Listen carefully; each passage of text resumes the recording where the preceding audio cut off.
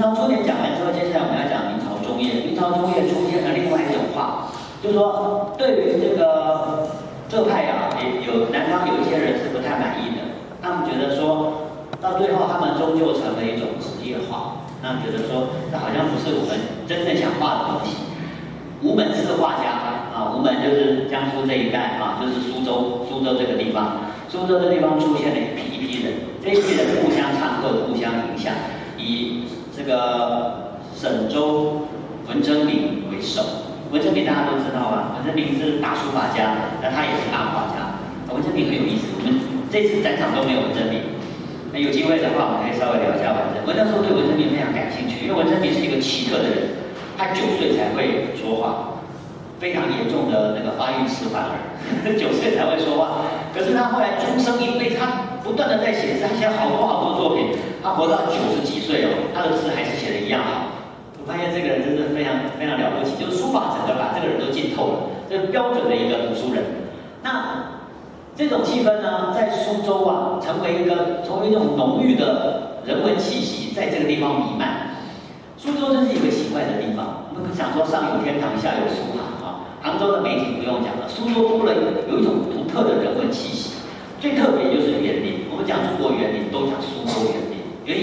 苏州苏州人啊，他们用他们观看生活、品味生活的方式，他就打出了一片天地，庭园的具体把它显现出来，就在庭园里就展示出人应该怎么活，怎么活才能活到最精致、最深、最深层的味道。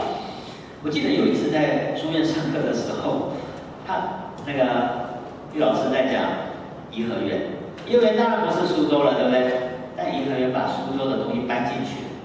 啊，他们他们其实其实是把东西搬进北方的庭院里面去。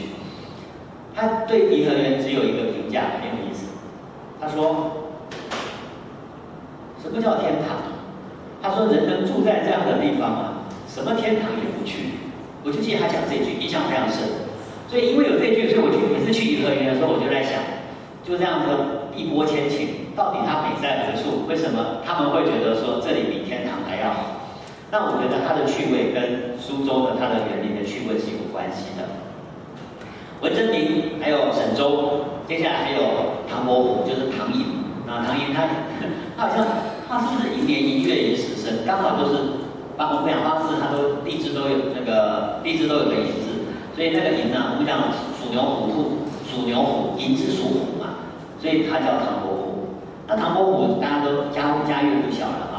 那另外一个就是裘英，这四个人被称为吴门世家，或者直接就被称为明世家。如果称为明世家呢，就是某个意义上来讲，也就代表着说他们的成就超越了明朝初年的正派，所以没有把戴进他们放进来。那为什么可以这样看待他们呢？当然是他们的那种人文浸润了。那文征明跟这个沈周都没有在战场里面，我们这一次可以看得到的是唐寅啊，就是唐伯虎。